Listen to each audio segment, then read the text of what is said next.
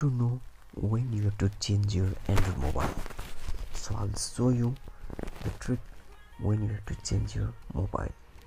So for that go on your keypad and then type your star hash zero seven and hash so now you can see here everyone pop-up comes SAR and you can see here India SAR, red SAR, body SAR and you can see 1.6 watt.